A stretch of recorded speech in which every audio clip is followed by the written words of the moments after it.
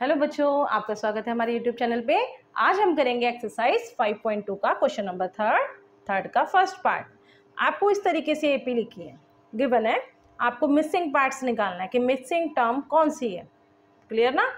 तो missing term करने के लिए सबसे पहले आपको पता होना चाहिए जो हमारी आगे वाली डिजिट ये फ़र्स्ट पार्ट की जो होती है, वो ए होती है। फिर A plus D A plus two D clear ना? यही समझाया था ना पहले भी कि ये ए वन होता है, ये ए टू होता है आपका और ये ए थ्री होता है। तो थ्री को रिप्रेजेंट करते हैं ऐसे टू को करते हैं ऐसे और वन तो ए का सिंगल ही रहता है। क्लियर ना? अब गिवन में क्या है? ए आपके पास टू है।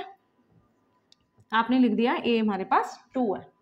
जब हम मिसिंग वर्ड कोई सा भी टर्म निकालेंगे तो मेरे, हमारे पास क्या होगा? हमारे पास ए होना चाहिए और हमारे पास डी होना चाहिए। जब दोनों की इक्वेशन होंगी प्लस करेंगे तब भी तो मिसिंग वर्ड का आप यहाँ फिलअप कर पाओगे, है ना? तो अभी तो ए है हमारे पास डी तो है ही नहीं नहीं है ना? तो क्या करेंगे? हमारे पास ए है is equal to two and A की थ्री हमें दे रखा है A plus two D is equal to twenty six ये है हमारे पास।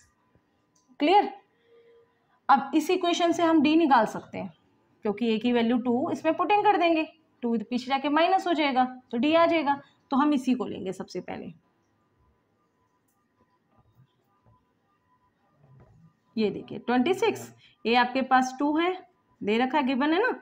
डी मुझे निकालना है अभी इसी से। तो आपका टू डी ट्वेंटी सिक्स ये आपका टू क्या था यहाँ? प्लस तो पीछे आके क्या हो गया? माइनस डी ट्वेंटी सिक्स में से टू आपने माइनस किया, कितना आ गया? Twenty four. डी जो टू मल्टीप्लाई होता है, इधर आके डिवाइड हो गया तो डिवाइड होकर कितना आंसर आ गया? ये देखिए, ऐसे लिखेंगे पहले और फिर बता देंगे डी हमारा ट्वेल्व है। क्या ये क्वेश्चन यही खत्म है? नहीं। उसने आप फ़र्स्ट क्वेश्चन के अकॉर्डिंग ये नहीं पूछा कि एन निकालो ए निकालो डी निकालो, ऐसा कुछ नहीं पूछा उसने। उसने कहा मिसिंग टर्म निकालो, जो मिसिंग है। तो मिसिंग के लिए देखो मैंने ये फॉर्मूला समझाया ना, अभी बताया कि बेटा ए गिवन है डी आपको निकालना पड़ेगा तो आपको इक्वेशन में खुद देखना पड़ेगा कि किस इक्वेशन से हम डी निकाल सकते हैं। तो डी निकाल दिया आपने ट्वेल्व राइट अब मुझे निकालनी कौन सी टर्म है? ए टू उसने तो सिर्फ़ मिसिंग पूछी है, ऐसे। कुछ भी हो सकता है मिसिंग में। हो सकता है नेक्स्ट क्वेश्चन में, वो इसको पूछ ले ए थ्री पूछ ले ए वन पूछ ले, कुछ भी पूछ सकता है। तो मिसिंग टर्म इस समय कौन सी है? ए टू ए टू का फॉर्मूला क्या है? ए प्लस डी देखो मैंने नीचे लिखा भी है ना यहाँ। ए प्लस डी ए आपका गिवन टू तो गिवन है। डी हमने अभी भी ट्वेल्व निकाला। डी ट्वेल्व अब दोनों को प्लस कर देंगे। तो कितना आंसर फोर्टीन क्लियर अब जो मिसिंग था, वो आप अपने यहाँ लिख देना आंसर में। हो गया क्वेश्चन कंप्लीट चलिए, अब करते हैं next question second parts second parts में भी कुछ मिसिंग है? क्या मिसिंग है? ए मिसिंग है, सबसे पहली बात। ए टू गिवन है। ए थ्री मिसिंग है। ए फोर गिवन है। पहले ऐसे लिख लेते हैं आप। राइट अब नीचे ए तो ए ही रहेगा। ये क्या है? ए प्लस डी आप जब तक ये चीज़ नहीं लिखेंगे ना, खुद ही वेरीफाई नहीं हो पाएँगे कि हमें करना क्या है इसमें। ये फॉर्मूला लिखने बहुत ज़रूरी है। ए प्लस में टू डी ए प्लस में थ्री डी क्लियर अब जो चीज़ हमें गिवन है, एक ये एक ये, इनको लिखेंगे। क्या क्या चीज़ें हमारे पास? A plus D is equal to thirteen right और दूसरी इक्वेशन कौन सी है?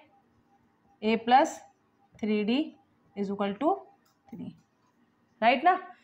जब कभी ऐसी क्वेश्चन इससे पहले वाले क्वेश्चन में एक ही क्वेश्चन थी तो हमने उसकी पुटिंग उसमें कर दी, ठीक है, हो गया डी आ गया हमारा। लेकिन इस दो इक्वेशन में क्या करेंगे?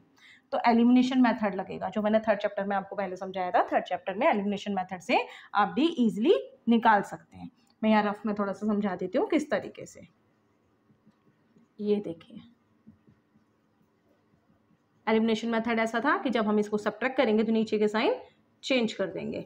अब बीच वाले साइन की कोई वैल्यू नहीं होती ये ए माइनस में होगा। ऊपर का ए प्लस ही रहेगा तो ये कैंसिल हो गए ये डी प्लस में थ्री आपका माइनस में माइनस कर दिया मैंने तो कितना आएगा? टू डी आएगा ना, इन दोनों को भी माइनस कर देंगे। कितना? Ten greater than sign plus का, इसमें ग्रेटर देन थ्री का। क्योंकि इसकी वैल्यू नहीं रहती प्लस की। ऊपर वाले की वैल्यू और ये इसके थ्री की नीचे की वैल्यू होती है। तो वही साइन नीचे आता है। तो डी आपका कितना आ गया? ये टेन था माइनस टू यहाँ लिखा था। जब हम इसको यहाँ ले आए माइनस के साथ इसको कैंसिल कर दिया तो आपका आंसर माइनस फाइव क्लियर ना? तो आप वही चीज़ हम लिखेंगे कि जब हमने इसको सब्ट्रैक्ट किया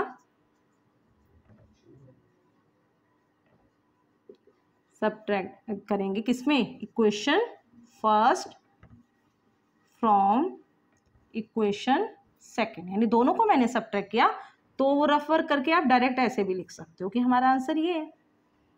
क्लियर ना? अब डी निकालेंगे। वही जो मैंने अभी निकाला आपका डायरेक्ट भी आप यहाँ लिख सकते हैं टाइम वेस्ट नहीं करेंगे दोबारा। क्लियर अब आपके पास डी है ना? क्लियर लेकिन डी आने से सिर्फ़ डी अगर हमने यहाँ पुटिंग कर दिया तो ए नहीं है मेरे पास। तो मुझे ए भी चाहिए। तो हम डी की पुटिंग कहाँ कर देंगे? इक्वेशन फ़र्स्ट में कर देंगे।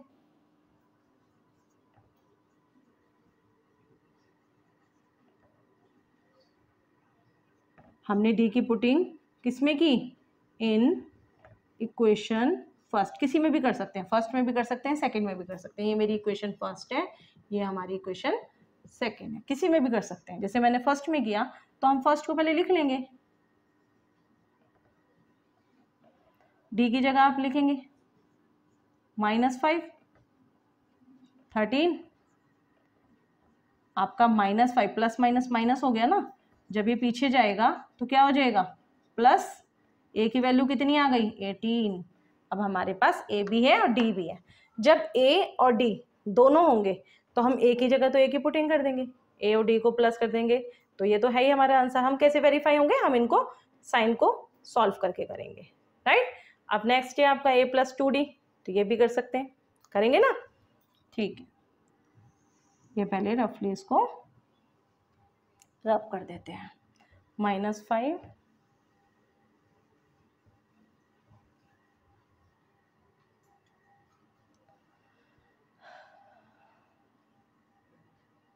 हम्म, सबसे पहले हमें फाइंड करना है जो था मिसिंग टर्म कौन सी है? ए तो ये तो आपने अभी भी निकाला। एटीन है हमारा। ये आपका आंसर आ गया। और कौन सी मिसिंग टर्म है? ए थ्री ए थ्री का formula A plus two D पहले फॉर्मूला लिखते हैं। ए आपका एटीन टू और डी आपका कितना था? माइनस फाइव एटीन अब देखिए ये प्लस है ना?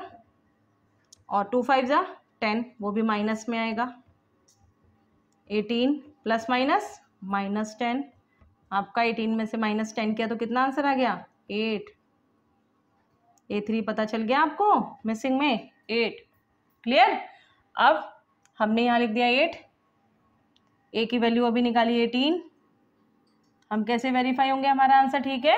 हम ए और डी दोनों की वैल्यू इसमें रख के देखेंगे क्या हमारा आंसर थर्टीन आ रहा है तो ये रफली थोड़ा सा कर लेंगे। ए प्लस डी हमें गिवन है। कितना? थर्टीन जो हमारा ए आ रहा है, वो आ रहा है एटीन जो डी हमने अभी निकाला, वो निकाला minus five eighteen minus five is equal to thirteen तो देखिए thirteen is equal to thirteen minus के ना थर्टीन अगर ये हमारा रफली ठीक है thirteen is equal to thirteen यानी हमारी पूरी डिजिट टर्म्स सारी ठीक है। क्लियर ना? आप करते हैं next question question number third का थर्ड पार्ट करेंगे। उसमें भी दो पार्ट्स आपके मिसिंग है। सेम वही प्रोसेस जो अभी हमने किया। ए ए टू आपको गिवन है। टू आपको फाइंड करना है। थ्री फाइंड करना है। फोर आपको गिवन है। A formula D A plus two D A plus three D right चलिए ए आपको दे रखा है? एक ए दे रखा है आपको गिवन में। A is equal to five and A four कितना है? Three D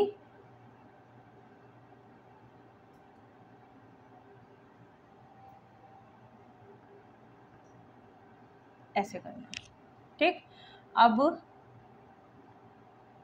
A plus three D is equal to इसको मिक्स फ्रैक्शन को प्रॉपर फ्रैक्शन टू नाइन से एटीन एटीन और one nineteen upon two clear है ना? अब इन दोनों इक्वेशन को सॉल्व करने के लिए आप ए की पुटिंग ए फोर में कर देंगे। Putting A equation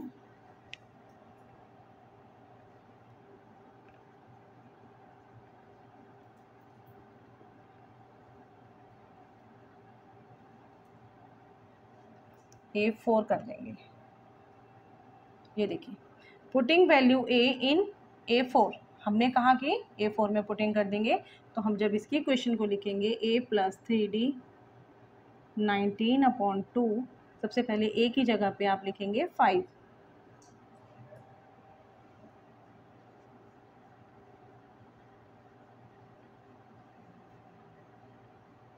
राइट अब जो आपका प्लस फाइव हो पीछे जाके क्या होगा? माइनस थ्री डी ऐसे ही रहेगा। अब मैंने आपको बताया था, इसको डायरेक्ट मल्टीप्लाई कर लेंगे ऐसे ही। हर क्वेश्चन में समझाती हूँ। किस तरीके से एलसीएम निकाल लेते हैं। Is equal to nineteen minus ten two आप इसको माइनस कर देंगे। नाइनटीन में से टेन आपने माइनस किया तो कितना आंसर आएगा? नाइन अपॉन टू क्लियर अब नाइन अपॉन टू में डी की निकालनी है वैल्यू आपको। जो नाइन अपॉन टू यहाँ लिखा था, वो एज इट इज़ ऐसे ही रहेगा, जो थ्री मल्टीप्लाई होता है, वो इधर आकर के इस तरीके से हो गया। सीट चेंज थ्री थ्री जा नाइन तो डी की वैल्यू कितनी आ गई? Three by two clear A और डी आपके पास चाहिए, आपको गिवन है ए डी आपने अभी भी निकाला है ए डी को प्लस करेंगे ए टू आ जाएगा ए डी की वैल्यू रखेंगे ए थ्री आ जाएगा। तो उस हिसाब से हम यहाँ लिखेंगे।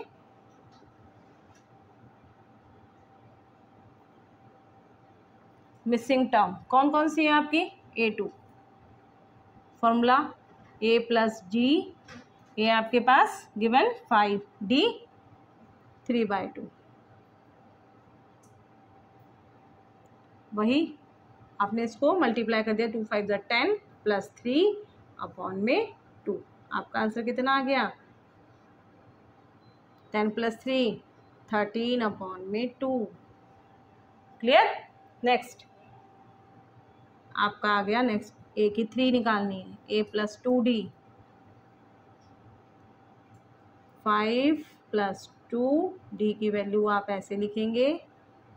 टू से two cancel five plus three